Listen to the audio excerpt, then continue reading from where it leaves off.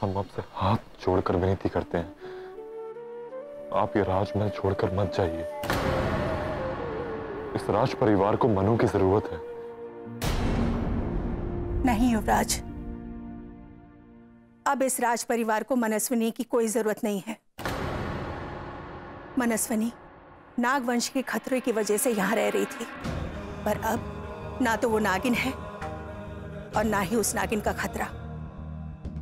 मनस्विनी की सारी जिम्मेदारियाँ खत्म हो चुकी हैं और युद्ध के बाद रणभूमि पर योद्धा का कोई काम नहीं होता।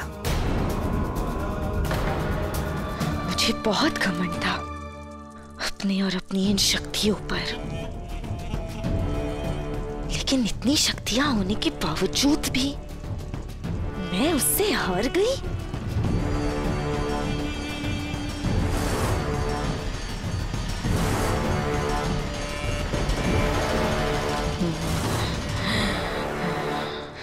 लेकिन मैं हार नहीं मानूँगी। मैंने हार अब तक नहीं मानी है।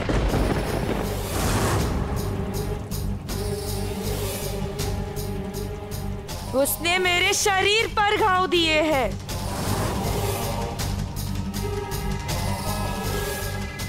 लेकिन वो मेरा फन कुचल नहीं सकती। हमारे और मनु के बीच एक रिश्ता अभी बाकी है।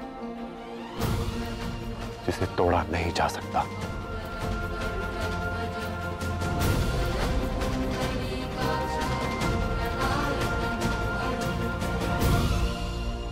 ये हमारी पत्नी है। जो रिश्ता खुद भगवान ने जोड़ा है, आप उसे इनकार नहीं कर सकते। कोई भी रिश्ता रिश्ता तब कहलाता है जब उसे समाज की और घर वालों की मान्यता मिल जाए। आप जिस रिश्ते की बात कर रहे हैं, उसे न मनस्विनी के परिवार ने जोड़ा था और ना ही आपके परिवार ने। रेत पर इंसान लकीर तो खींच सकता है, पर उससे ज़िंदगी भर का रिश्ता कायम नहीं कर सकता, क्योंकि उस लकीर की किस्मत में मिटना ही लिखा होता है। रिश्ता तो बराबरी वालों में होता है। एक मामूली सी देव रक्षिका का युवराज माधव के साथ क्या रिश्ता? ऐसा रिश्ता ये राज परिवार कभी स्वीकार नहीं करेगा। ये दिल का रिश्ता है और दिल का रिश्ता इंसान का दिल देखकर जोड़ा जाता है। उसका रुतबा देखकर नहीं।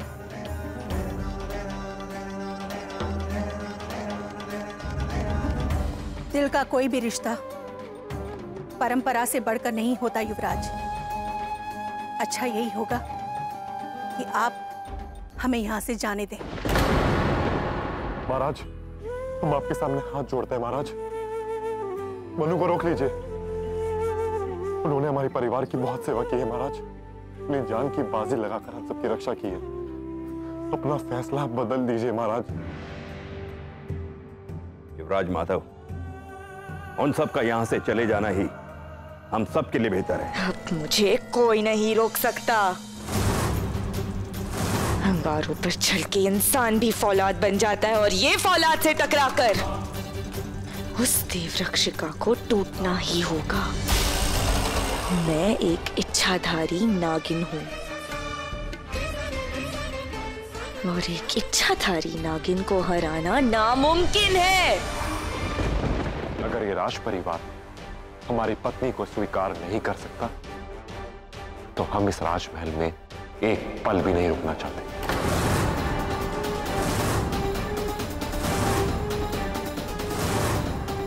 हम अभी इसी वक्त यहाँ से जा रहे हैं।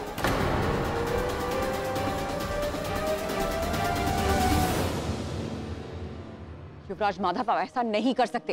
आप ये मत भूलिए कि आप इस राज परिवार के वारिस हैं। हमें माफ़ कर दीजिए माँ। लेकिन अगर ये राजमहल हमारी पत्नी को अपना नहीं सकता तो हम इस राजमहल को अपना नहीं सकते।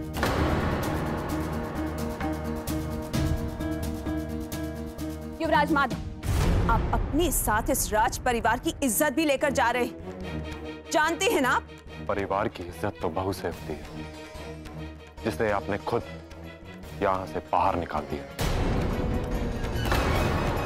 हमें लगा था कि कोई हमारी बात माने या ना माने।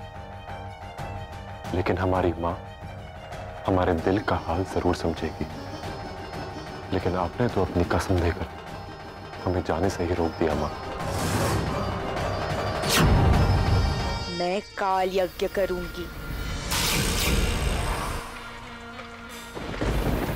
और इस काल यज्ञ से मुझे जो शक्ति मिलेगी उस शक्ति का कोई तोड़ नहीं होगा।